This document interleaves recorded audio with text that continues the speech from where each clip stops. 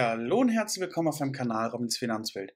Heute habe ich ein Update zur Jinko Solaraktie für euch dabei. Es wurde ja gewünscht, jetzt hier wieder ein Update rauszubringen. Und hier ist es jetzt auch, äh, momentan ist es ja so, da soll es auch ein bisschen drum gehen. Die Jinko Solaraktie ist ja jetzt stark gefallen, also ist wirklich extrem gefallen in den letzten Wochen. Und ich möchte so ein bisschen allgemein auf die Solarbranche eingehen, beziehungsweise was hier einfach für Wachstumsprognosen für die Zukunft gegeben werden. Dann schauen wir uns natürlich wie gewohnt hier auch den Qualitätscheck zusammen an und gehen dann am Ende wieder auf den Jahreschart zusammen ein.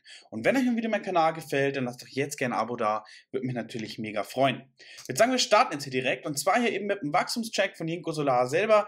Wir können oben links die schön steigenden Umsätze sehen. Natürlich gab es mal einen kleinen Rücksetzer hier, äh, zum Beispiel auch von 2017 auf 2018, aber seit 2018 eigentlich stetig nach oben gegangen und der Solarbereich wird natürlich für die Zukunft immer wichtiger. Ich hatte es in meinem äh, vorherigen Video auch mal bei Xinji Solar schon gesagt, also auch da gern mal reinklicken. Ich werde euch jetzt im Laufe des Videos oben mal meine Wachstumsplaylist in die Infobox äh, reinpacken. Gern da nach dem Video gern mal reinklicken, wenn es euch interessiert und mal vielleicht meine Wachstumsplaylist ein bisschen durchschauen. Ja, aber jetzt sind wir hier eben bei Jinko Solar und auch da passen die Wachstumsprognosen. Das Einzige, was hier so ein bisschen das Manko war im ersten Quartal dieses Jahr, waren die geringen Margen, die hier verdient werden. Wenn man das mal mit Xinji Solar vergleicht, dann sind die deutlich geringer. Xinji liegt da im zweistelligen Bereich und bei Jinko Solar liegen wir irgendwo bei 1 bis 2 Prozent. Prozent. Also da müssen die Margen besser werden, lag aber an diesen erhöhten Materialkosten. Da muss auf jeden Fall Jinko Solar noch dran bauen. Was man aber sagen muss, sind hier Weltmarktführer und das darf man wirklich nicht vergessen. Sie wollen eher momentan ähm, das Ziel auf Wachstum setzen, um sich für später besser zu positionieren finde ich sehr, sehr sinnvoll und daher finde ich das auch eine gute breite Marktaufstellung. Wir haben ja aktuell nur noch einen Kurs von 25,59. Man sieht, wie deutlich wir nach unten gewandert sind. Man kann sie unten auch im, im kurzen Chartverlauf hier sehen. Wir gehen aber nachher auf den Jahreschart nochmal genauer ein. Wir haben hier ein Umsatzwachstum im Durchschnitt auf die letzten zwei Jahre von über 18 Prozent. Das ist recht ordentlich. Die Performance auf ein Jahr kann sich auch immer noch sehen lassen. Die liegt bei über 114 Prozent. Aber die kurzfristige Performance ist deutlich abgerissen. Auf die letzten drei Monate haben wir mittlerweile Minus von über 50 Prozent. Ähm, andererseits muss man sagen, ist jetzt vielleicht wirklich wieder so ein gewisser Einstiegszeitpunkt. Ähm, das ist natürlich nur meine persönliche Meinung, ist ganz, ganz wichtig. Bitte jeder seine eigene Meinung bilden.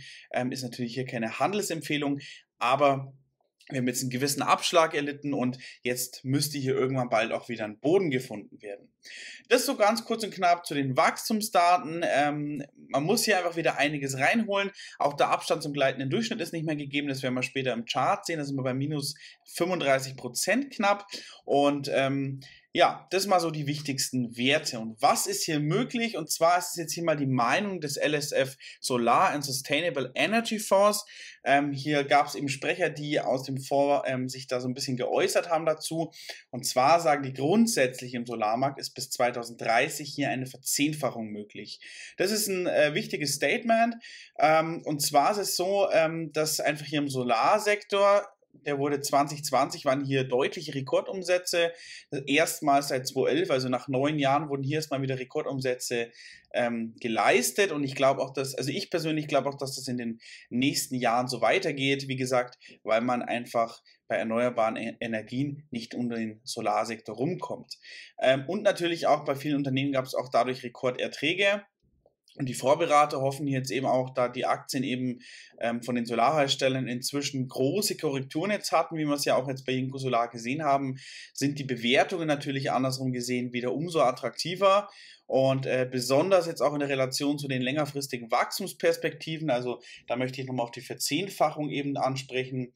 Ähm, genau, soll einfach in dem nächsten Jahrzehnt hier möglich sein oder im Solarmarkt drin sein. Und auch das jährliche Zubauvolumen von Solaranlagen soll eben hier dadurch deutlich steigen. Äh, und Anleger, sowohl institutionelle als auch private, sind hier kaum investiert in Solarhersteller oder noch wenig investiert zumindest. Ähm, und wenn dann nur in thematischen ETFs, aber noch keine reine Aktienanlage. Auch da ist noch ein ganz, ganz weiter Ausbau ähm, möglich nach oben. Und ähm, da ist es auch so, es wird eben hier auch wenig in die chinesischen Solarwerte investiert, ähm, obwohl Jenko Solar, wie ich es euch vorhin schon gesagt habe, hier ja Weltmarktführer ist und sie sich ja auch so weiter aufstellen wollen für die Zukunft. Fand ich mal einen ganz interessanten Bericht. hier auch mal die Meinung eben aus dem Fonds selber raus, hier für Solar und Sustainable Energy. Ähm, ich persönlich ähm, glaube die Prognose. Ich könnte mir sogar vorstellen, dass das, dass das Wachstum noch viel, viel stärker ist. Auf jeden Fall bis in die noch ein weiteres Jahrzehnt, wenn wir mal vielleicht 20 Jahre weitergehen, glaube ich, haben wir hier enorme Wachstumschancen und ich bin einfach gespannt, wo der ganze Markt hier im Solarbereich hinläuft. Das war so ein kurzer Ausreißer. Jetzt schauen wir uns hier das Finanzergebnis nochmal kurz und knapp an. Ähm, die Marktkapitalisierung aktuell so ungefähr bei 1,45 Milliarden US-Dollar zum aktuellen Kurs mit 25,60 Euro gerechnet. Ähm, hier auch mal, man sieht die steigenden Umsätze hier nochmal kurz und knapp. Auch das Plus mit 18 Prozent, was wir hatten. Auch das Betriebsergebnis leicht hochgegangen und der Zahlungsmittelbestand auch nach oben gegangen. Das so kurz und knapp. Und wenn wir uns jetzt hier das im Chart anschauen, wir haben heute hier ein kleines Minus von 1,72 Prozent stehen eben bei knapp über 25 Euro und natürlich lässt jetzt der Chart so ein bisschen zu wünschen übrig. Wir sind in einem deutlichen Abwärtstrend, wenn wir es hier sehen, hier ist es eigentlich begonnen, wo wir die 50-Tage-Linie nach unten durchbrochen haben. Dann haben wir es leider auch geschafft, die 200-Tage-Linie nach unten zu knacken. Ähm, und jetzt gilt es einfach wieder, sich an die 50-Tage-Linie so ein bisschen ranzupirschen, die irgendwo im Bereich um die 33 Euro aktuell liegt. Da muss man schauen, dass wir wieder hinkommen. Ich glaube, das wird äh, so im mittelfristigen Zeitraum passieren.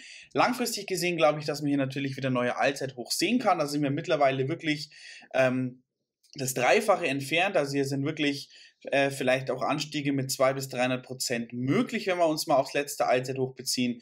Es kann eine Weile dauern. Ich bin aber sehr, sehr positiv gestimmt und bin gespannt, was Hinko Solar für uns bereithält. Schreibt mir doch unten gerne mal in die Kommentare, wie ihr das Ganze in Zukunft seht, auch vielleicht aufgrund ähm, ja, des Artikels, den ich euch mitgebracht habe.